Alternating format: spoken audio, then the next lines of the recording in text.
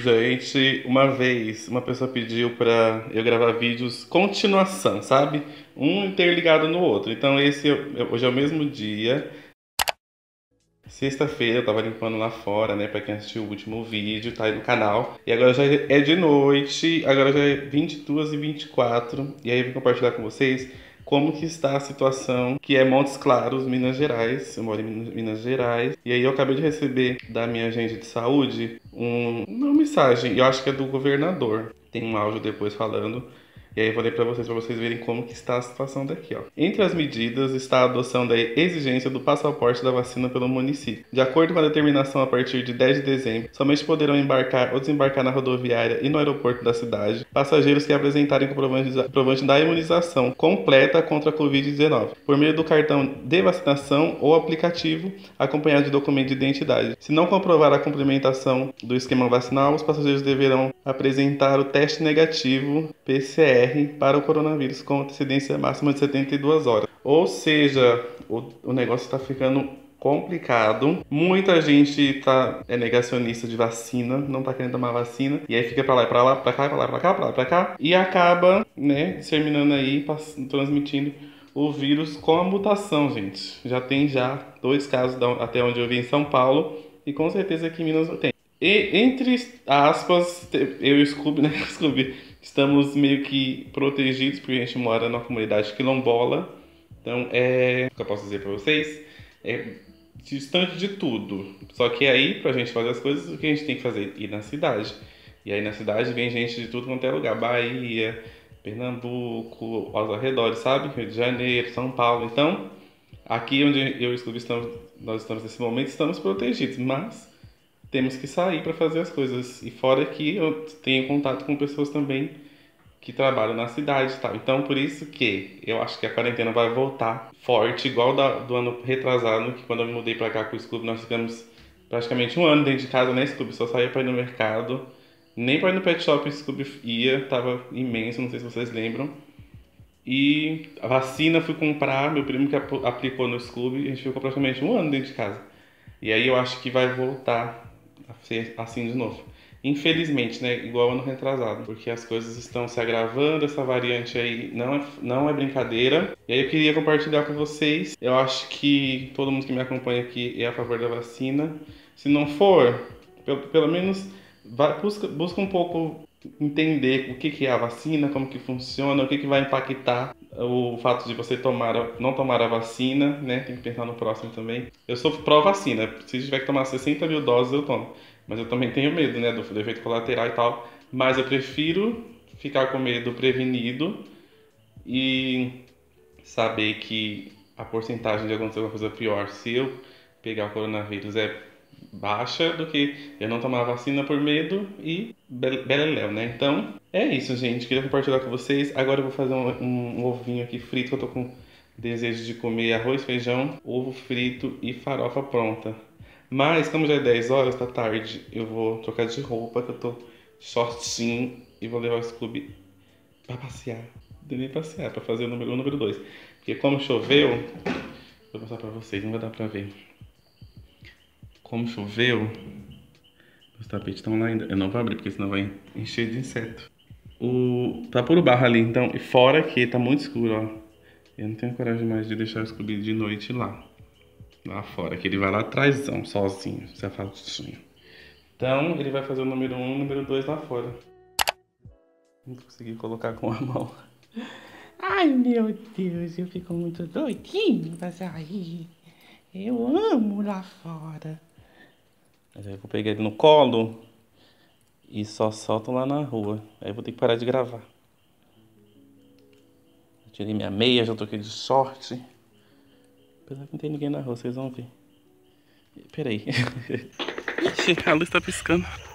Ai, ela é apetite. Devagar que tem uns cachorros. Aí tá molhado, tá. Não, não sobe, né? Ali tem ele costuma fazer ali, ó. Tem um meio de pau. Calma. Calma. Ainda bem que a rua tá sequinha. Aqui, ó. Ele faz aqui, ó, o xixi. Ai, meu pai.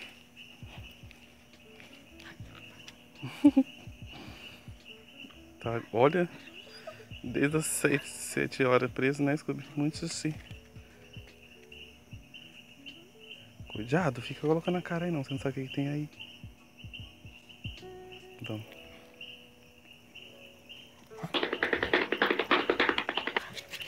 Ixi.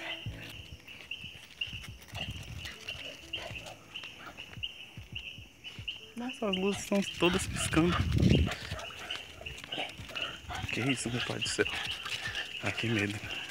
Ai, Scooby, devagar. Pode fazer barulho, senão os cachorros vêm atrás da gente. Meu Deus, aconteceu aí. Nossa, essa luz piscando tá me dando medo. Cadê que não tinha ninguém na rua?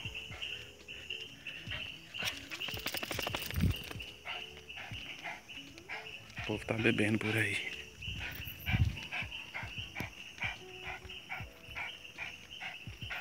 Aqui tem um cachorro, então eu vou voltar. Aí eu fico fazendo esse trajeto aqui, ó. Nessa calçadinha. Só que geralmente os clubes faz no meio fio, onde passa água. Por isso que eu nem trouxe sacolinha. Isso. Agora ele vai fazer o número 2. Vocês me dão licença, pessoal. Eu vou fazer meu número 2.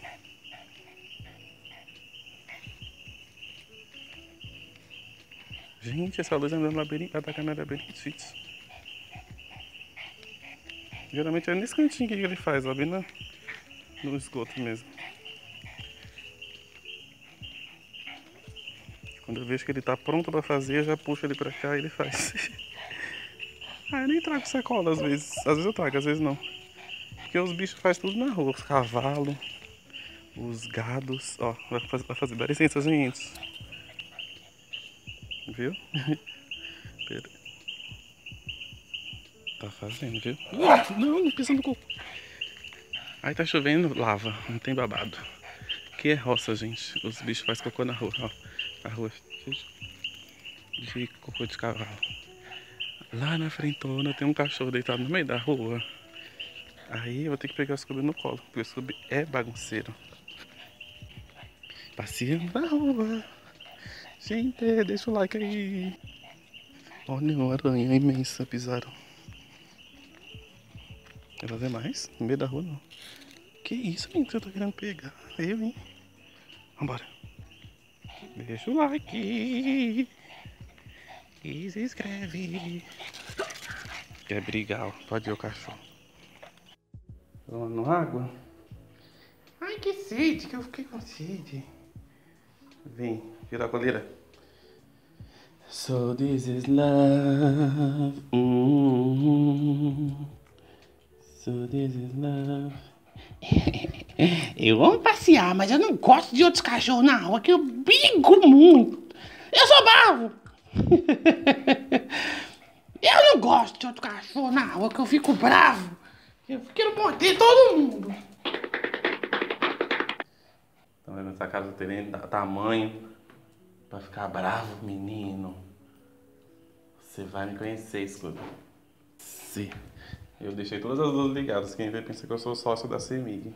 Chega, né? 10 horas. Já passou da hora de criança dormir. Já? Já passou da hora.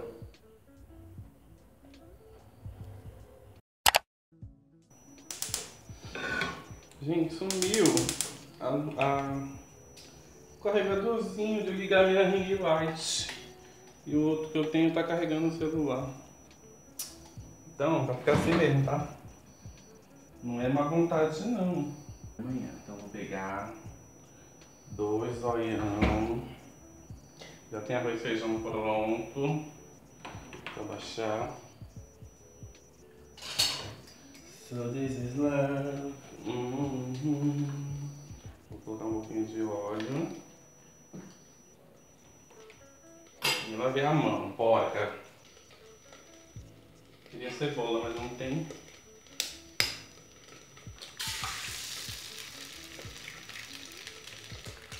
Nossa, eu tô passada ainda com...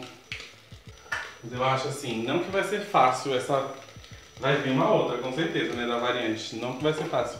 Mas agora nós já sabemos o que, que quer dizer, sabemos entre aspas, né, o que nos espera. Mas aí a gente já sabe, tem que usar máscara, álcool em gel, vacina, distanciamento. Da primeira vez, todo mundo foi de surpresa, né? Vou para lá pra cá, ninguém sabia de nada.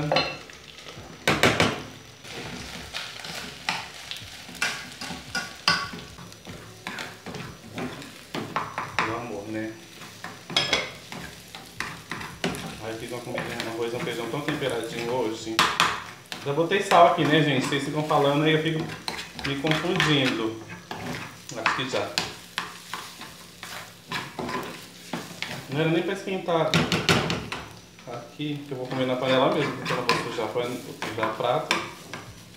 Eu, hein? Sou palhaça. E aí, como grudou, essa frigideira não é muito boa. Como grudou, ui, eu vou colocar primeiro o feijão, né? Gente, é. É comida de pobre. Assim. Não que arroz não seja comida de pobre, é o vídeo de gente pobre, viu? Como na panela, eu bem. E se eu fosse rico, eu também comeria na panela. Tá sujando o prato? Me respeita, né? Aí bota assim o arroz que eu fiz de tarde. Tô salivando porque eu tô com desejo de comer esse arroz com. Eu vou explicar porque tá tudo muito quente e eu não gosto de comida quente, depois queima toda a minha boca. Não deveria estar comendo tudo isso tanto? Não. Mas como eu já trabalhei na enxada, agora eu vou colocar a farofa tradicional. Hum, farinha de mandioca temperada tradicional. A mãe que me deu. Muito obrigada. Obrigado, muito obrigado, muito obrigado. Aí põe isso no feijão. Primeiro dá uma sacudidinha nela assim pra misturar.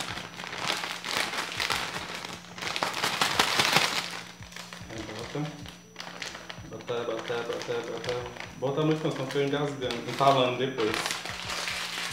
Ai, Senhor, agora eu vou almoçar. Muito obrigado por esse alimento. Eu sou grato, eu te amo, alimento alimento abençoado, maravilhoso. Eu sou grato, eu te amo.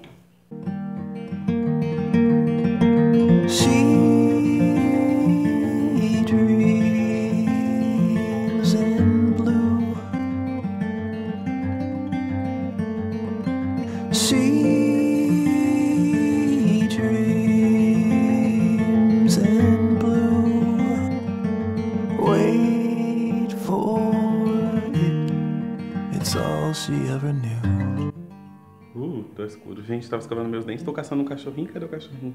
O cachorrinho tá deitado no sofá. Escovei minha dentadura. E vou encerrar o vídeo por aqui, gente. Me conta aí o que vocês estão achando. Foi a pessoa que me sugeriu. Eu esqueci o nome da pessoa. Ela falou: você podia gravar vídeos assim, ó, sequência. E eu tava gravando e paralisando, né? Agora eu vou ter que editar porque apertei sem querer e desligou. Mas enfim, se você estiver gostando, deixa o like, se inscreve no canal, comenta aqui embaixo, tá bom? Pra você pra eu continuar gravando, na verdade. É isso. Um beijo, fiquem com Deus e até o próximo vídeo, que vai ser amanhã. Vou tentar fazer, viu, gente? Continuações assim, ó, tipo, diário da minha vida. Foi isso que a pessoa falou, assim, grava continuações, como se fosse diário pra gente poder ir acompanhando. Sentindo muito importante, novela. Prazer, eu novela. Pode acompanhar que eu gosto. Beijo, tchau, até amanhã. Wait for it.